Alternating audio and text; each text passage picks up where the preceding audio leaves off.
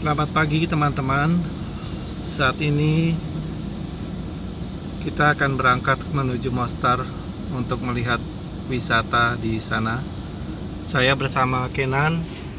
Selamat pagi. Selamat pagi ya teman-teman yang lain. Ya dengan wajah ceria. kita akan melihat wisata religi di sana di Mostar. Mungkin yang pertama kita akan datang ke Tekia Belagai, tempat wisata wali. Kemudian selanjutnya kita ke kota Mostar.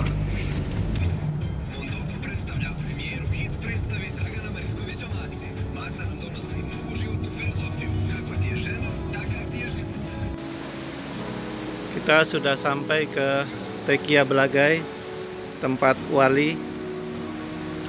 Walinya Muhammad Bukhari Sari Saltuk.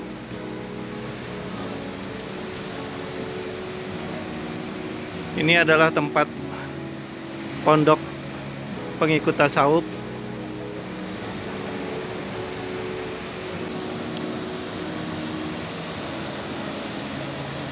Ada dua hal menarik bila mengunjungi Tekia ini. Yang pertama adalah kita bisa melihat pondoknya atau zawiyah dalam bahasa Arabnya. Dan satu lagi spot yang menarik adalah kita bisa melihat mata air Buna dengan debit air yang sangat besar bisa kita lihat lebih dekat semuanya. Mari kita saksikan lebih lanjut. Kita beli tiket dulu. Harganya dua setengah euro per person.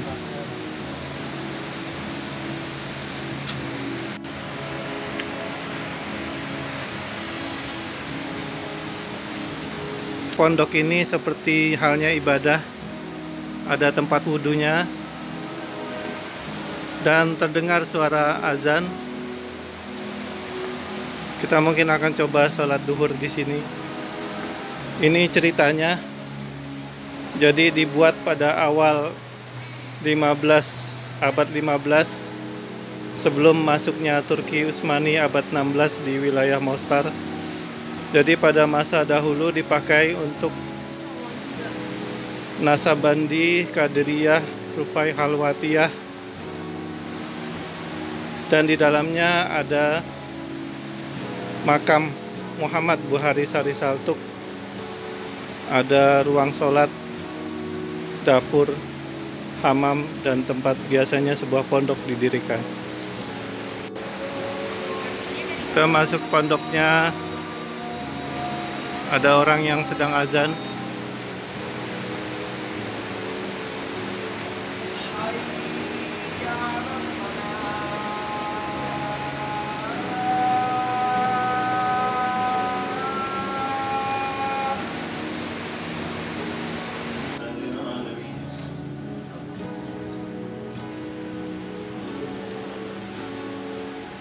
Ya bagi wanita yang akan mengunjungi Tekia ini harus mengenakan hijab untuk bisa nanti ke atas untuk melihat makam wali.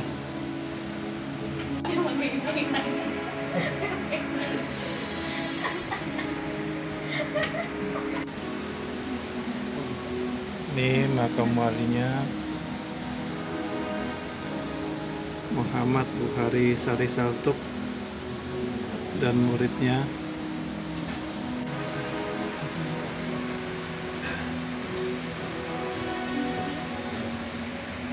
Si- silsilah Sufi Nasabandiyah Syekh Kadir Abdul Jailani Bahauddin Nasabandiyah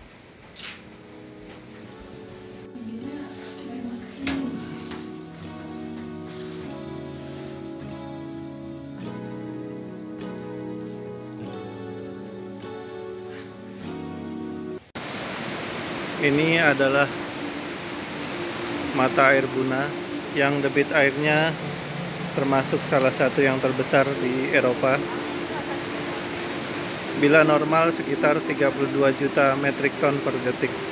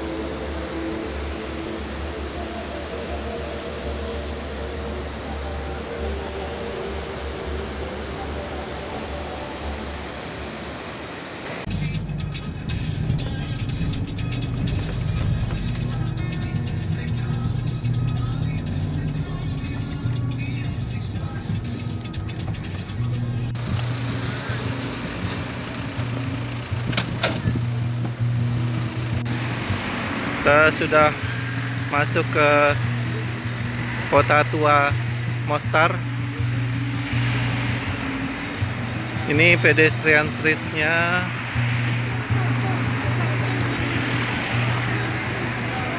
Di sini kayak jalan seperti perhadiahnya. Di pedestrian streetnya Mostar.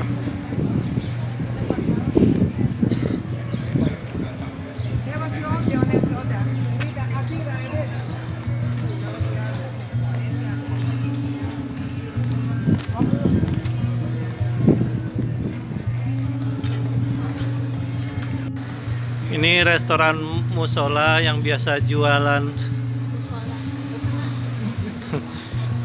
jualan burek paling enak sih kata Kenan. Iya. Kita coba masuk untuk beli burek.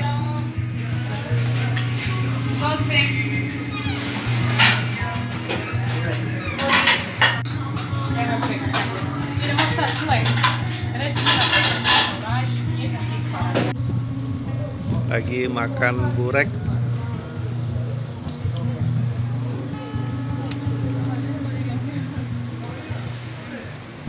Kita tiba di Masjid Karados Begova tahun 1557.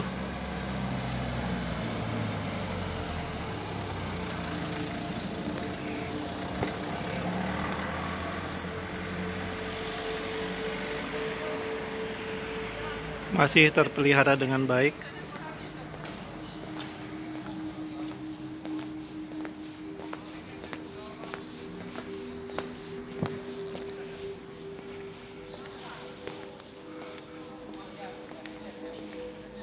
Ada fonten dan masih ada bangunan madrasah di dalamnya.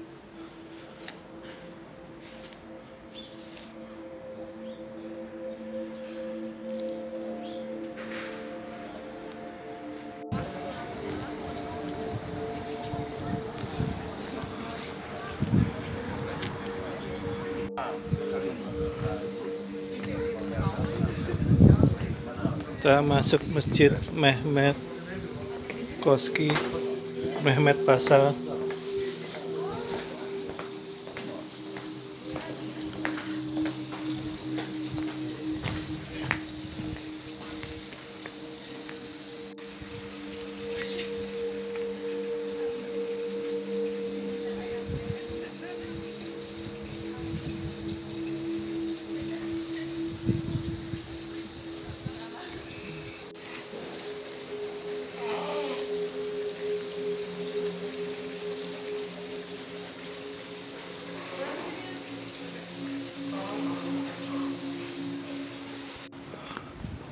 masuk museum Oh, hancurnya ini. Di museum ini ada pemutaran video yang menarik mengenai jembatan Mostar dari awal dan sesudah hancur akibat perang Bosnia tahun 1993 kemudian dibangun kembali. Jembatan ini penting karena merupakan simbol kedekatan antara Kristen dan Islam.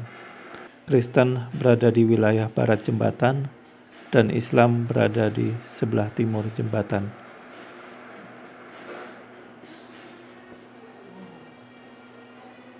Beginilah video pada saat jembatan Mostar hancur akibat perang.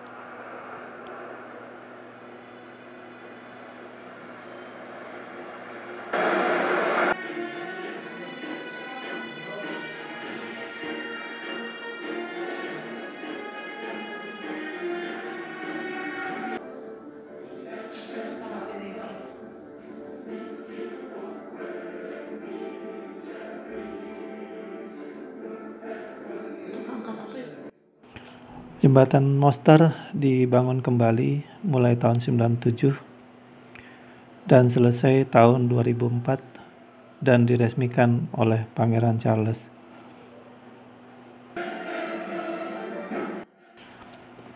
Jembatan ini diresmikan atas dana dari negara-negara yang peduli akan pentingnya arti jembatan ini untuk dibangun kembali bagi Bosnia Herzegovina. Begini perayaan peresmian jembatan Mostar.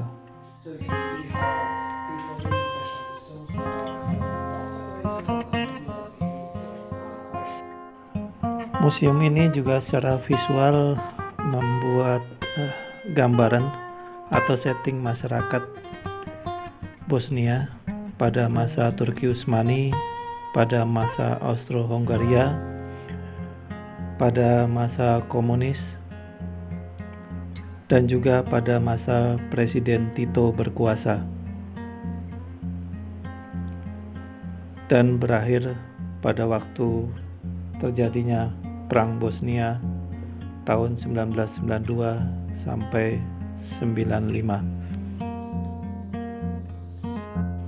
Satu hal yang menarik pada setting terkait kekuasaan Presiden Tito terdapat pin Presiden kita, Presiden Soekarno.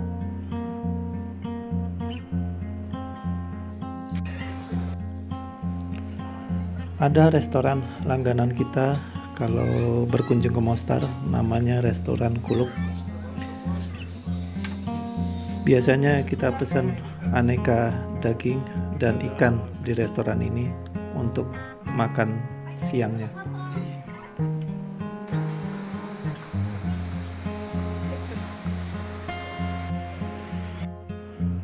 Selanjutnya, hal yang menarik setelah makan adalah kita melihat langsung jembatan Mostar yang sangat masyur di kota tua ini. Jembatan ini dibangun pada tahun 1566 oleh arsitek terkenal Mimar Sinan.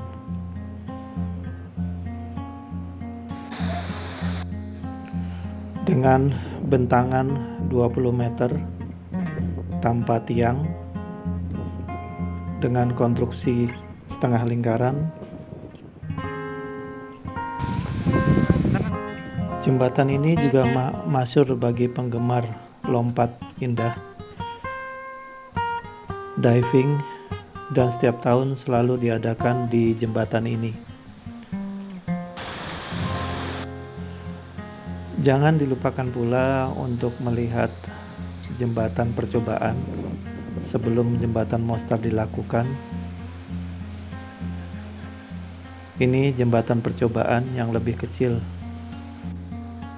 Namanya Kriva sebagai bentuk tes sebelum jembatan Mostar dibangun dibangun pada tahun 1558. Selanjutnya di sisi barat ada masjid kayu bernama Haji Kurtova. Kecil namun indah.